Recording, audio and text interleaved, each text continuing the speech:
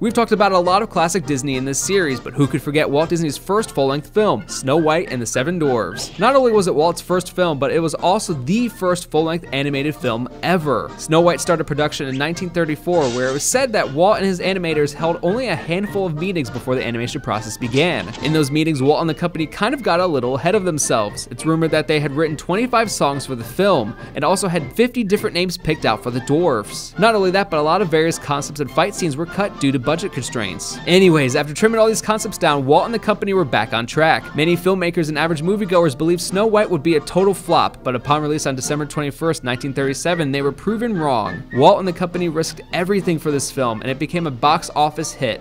Adjusted for inflation, the film went on to make nearly $2 billion. While some of the behind the scenes drama and treatment of the cast and crew were, well, questionable, there's no denying how important Snow White and the Seven Dwarfs was to the Walt Disney Company and the globe.